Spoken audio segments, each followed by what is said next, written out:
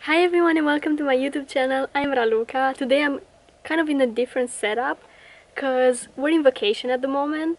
I'm in my boyfriend's backyard. I'm filming here in natural light. I haven't got my ring light with me so this is what we're working with at this moment.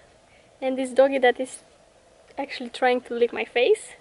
Why do you want to lick my face?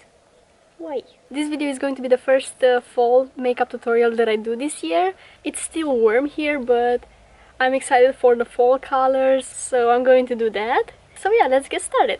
I'm first going to do my brows. I'm first going to brush them up. To fill in my brows, I'm going to use the Brow Powder Duo by Anastasia Beverly Hills and I'm going to apply it with the Makeup Addiction Small Angle Brush. This is my favorite brow brush and I'm just mixing both of the shades.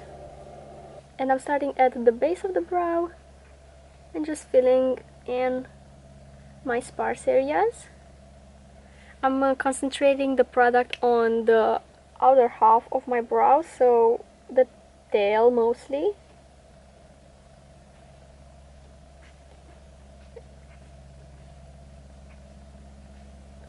I'm not adding any product in the front. I'm going to use my Brow in the front of the brow. To fill in the front of the brow, I'm going to use my Brow again by Anastasia Beverly Hills. Uh, this one is in the shade medium brown. And I'm just going to draw some hair strokes.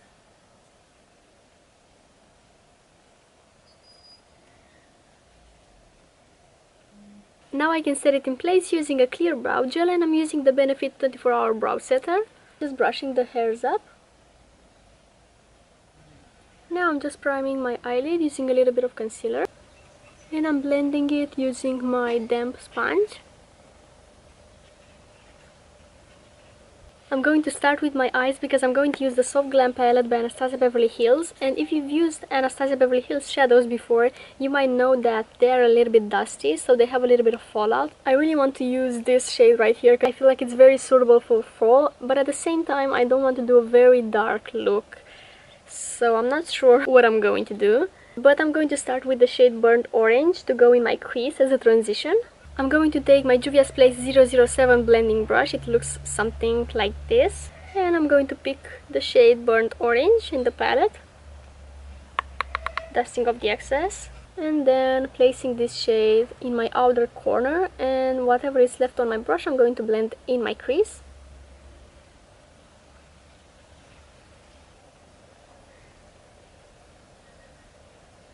You know what, I'm going to apply this shade all over the eyelid as well. I'm going to do kind of a soft smoky, I think. I'm going to use a Makeup Addiction Precision Shader Brush and I'm going to take the shade Sienna, which is a warm brown. This is going to go near my lash line kind of in a wing liner shape.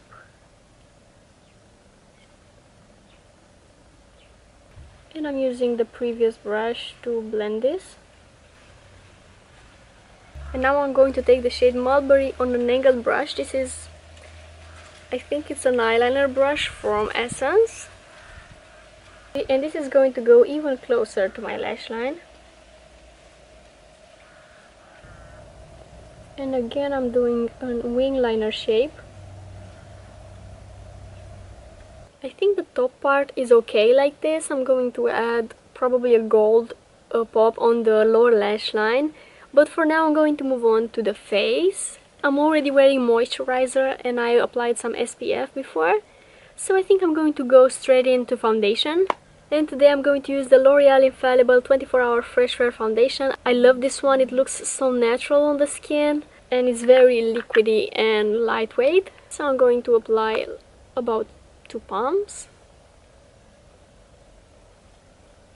By the way, I'm in the shade 130 True Beige.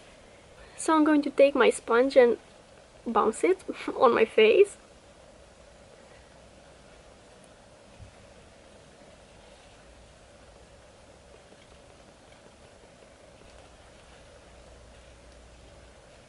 and with whatever is left on the sponge I'm going to continue blending on my jawline and my neck so you won't, won't be able to see a difference between my face color and my neck color. But make sure to get this jawline area as well because I feel like a lot of people forget about this area. For my under eyes I'm going to use my favorite the instant anti-age eraser by Maybelline. And I'm first going to apply the shade brightener to cancel out the darkness on my under eyes. And I'm going to blend this with my sponge. And then on top of it as concealer I'm going to use the shade neutralizer.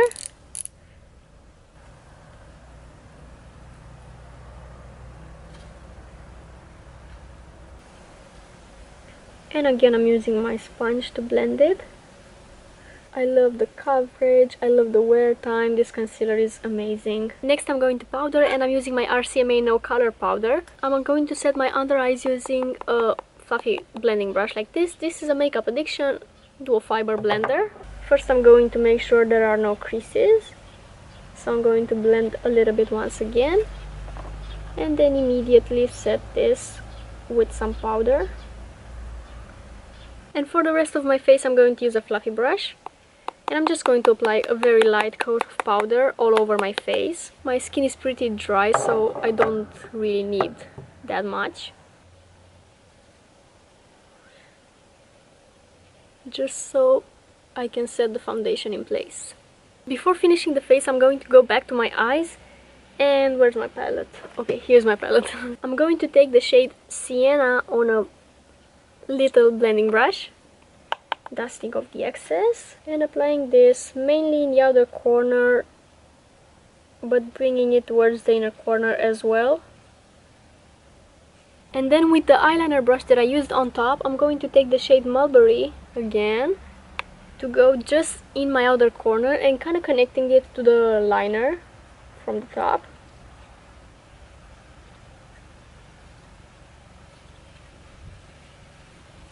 and then by putting less pressure on the brush I'm going to fade it.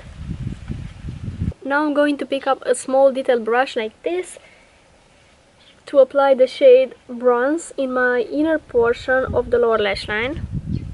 This is such a beautiful golden shade. And so this is going to go here in my inner portion. And again by applying less pressure on the brush I'm going to fade it towards the outer corner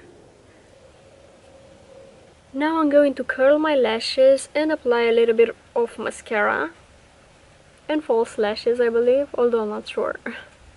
I'm going to apply the Anastasia Beverly Hills mascara. I can't get over how this packaging looks so similar to the Fenty mascara. I'm not sure if I like this though.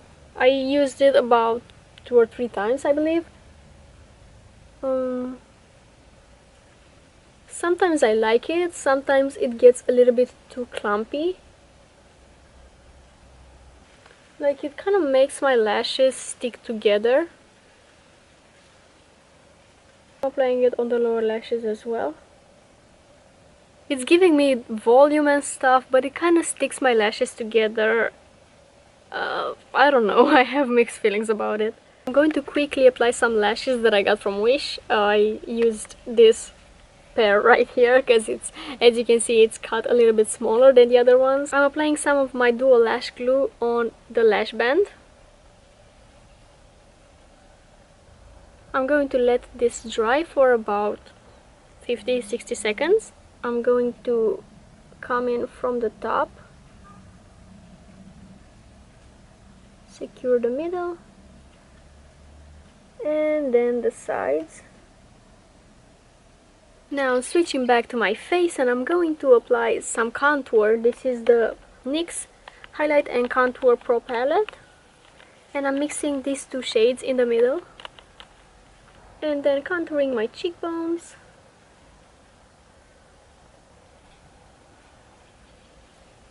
My jawline. My forehead. And I like connecting the eyeshadow to the contour here above my temple, let's say.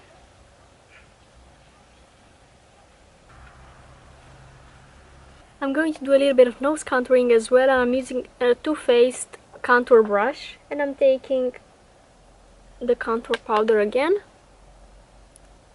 and shading under my nose to lift it up a little bit and then with whatever is left on the brush I'm going to draw two lines but keeping them really close to each other. And then a line that's parallel to the first one that we did. Then some lip contouring as well by shading underneath and above my mouth just in the center. Next I'm going to apply some blush and I'm taking my Sigma blush cheek palette and I'm going to take this shade in the corner because it's the most natural of them all it's kind of a peachy skin tone shade yeah I can see myself in this mirror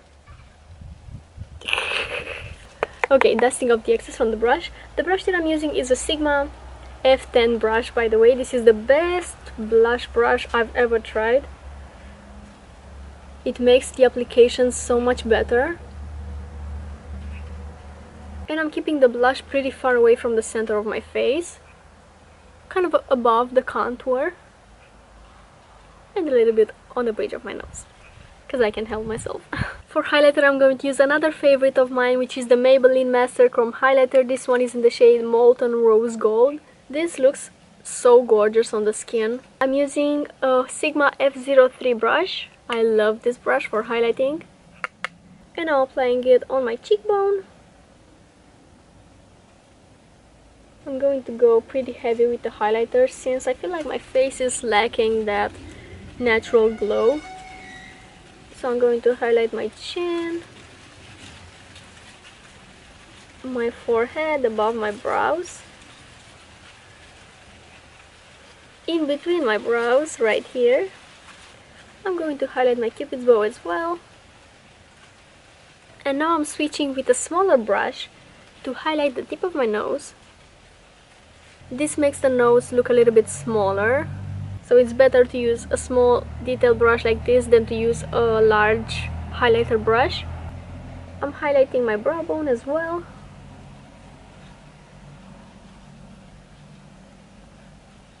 And my inner corner. Set my face in place and again to bring back that healthy skin-like glow I'm going to use the MAC Fix Plus setting spray I'm going to get my hair out of the way and then spray my face. Hmm, this smells amazing. I have yet to decide on what lipstick I want to apply. I'm not sure if my heart allows me to apply a darker lipstick, although that would be very fall-like, but, but I love light colors. Okay, you win. I'm going to apply the Makeup Forever Artist Color Pencil in the shade 708 this is like a dark reddish brown.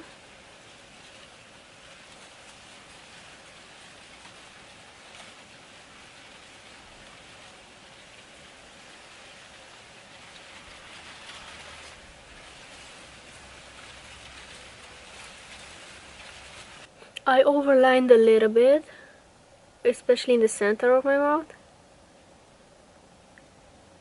I mean, this is not bad, but I, I don't know. I prefer light nudes so much more. I think in the center of my mouth I'm just going to go with this lip balm by Givenchy. This is La Rose Perfecto lip balm in the shade 03. It's just like a pink shimmery color. It's not that pink on the lips, it just gives that beautiful flush of color.